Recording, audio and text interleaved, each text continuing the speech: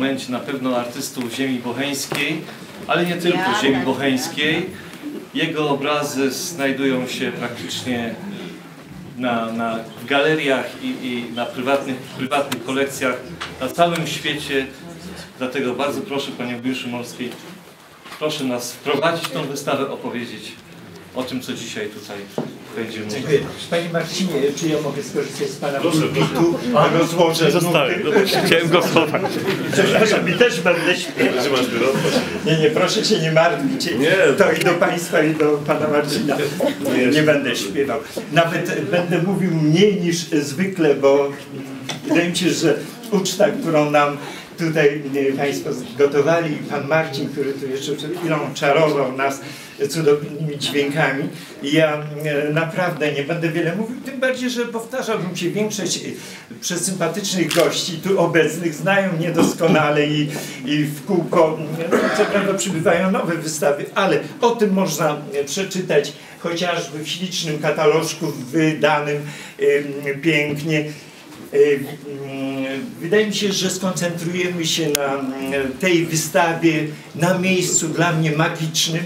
E, mm, Przed wystawą, nawet przed piękną wystawą, kiedy mogłem e, zobaczyć, mówiąc o pięknej wystawie, mam na myśli piękną wystawę pana Adama Faglio 30 września roku minionego, kiedy zobaczyłem wnętrze, kiedy poznałem panią dyrektor, pana dyrektora, pracowników tego miejsca i sobie pomyślałem, że to jest miejsce, gdzie z radością dużą wystawę bym zrobił.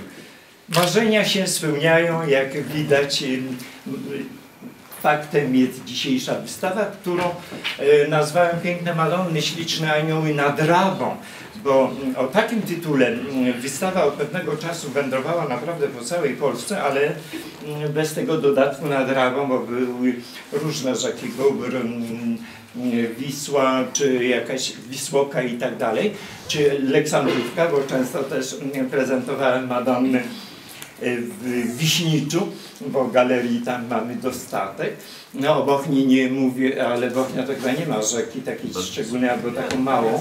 Raba jest. Tak trochę poza, bardziej ta raba jest e, w hełmie i oto, no mniejsza. W każdym razie e, i w Bochni i w Muzeum Pięknym i mamy gości z muzeum i biblioteka i różne znakomite się robi zdjęcia. ale nie będę się też koncentrował na tym. Wszystkich Państwa witam. Wszyscy jesteście dla nas, używam liczby mnogiej, więc dla gospodarzy i dla mnie, ale radość ogromna e, dziwiłbym się, gdyby nie było tutaj z nami mm, postaci niezwykłej, księdza Antoniego Dworka, którego miałem przyjemność już dawno poznać. Cenię, szanuję i kłaniam się nisko. Czuję się zaszczycony, tak jak czuję się zaszczycony obecnością wszystkich Państwa. I tych, którzy za mną latają po różnych odległych miejscowościach, otwierają mi w jakichś cypitasach wystawy, nawet nie wiem co to znaczy, bo łaciny niestety nie znam, ale było uroczo Halinko.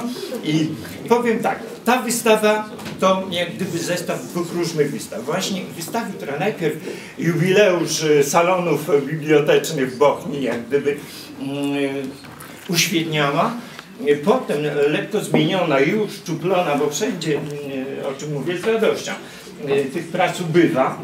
Ym, Tu przyjechała z Krakowa, z Civitasu krakowskiego i to jest mm, głównie ten salonik i te piękne madony. Tu są prace, które przyjechały z wystawy w Tarnowie, z pięknej galerii w Mościcach. Ta wystawa, chociaż ona